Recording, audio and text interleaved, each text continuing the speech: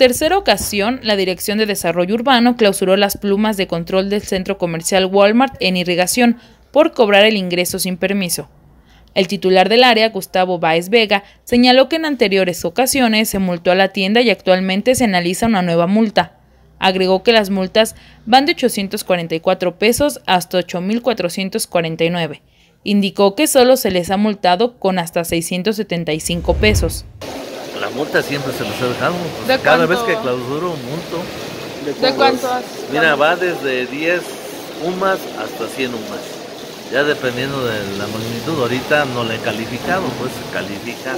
Ahorita dejamos la multa y se califica ya en oficina. ¿Y Anteriormente. Y le hemos ya ha pagado una como de 5, otra de 8, no sé, ahora a ver hasta cuánto le vamos a subir. Pero podría porque va creciendo, claro, normalmente porque está reincidiendo, ¿no? Por ello hizo un llamado al ayuntamiento para que modifiquen los lineamientos de los estacionamientos y así evitar conflictos por la falta de permisos yo siento que quien debe ya de tomar la decisión, pues es a final de cuentas los, regidores de ayuntamiento y ya tendrá que establecer los lineamientos porque tenemos una problemática fuerte, no, son los únicos, sino tenemos más estacionamientos en las mismas condiciones.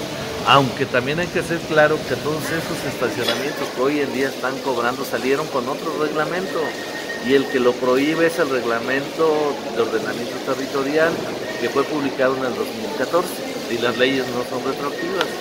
Para Noticiero Expresa TV, Avelina Guevara.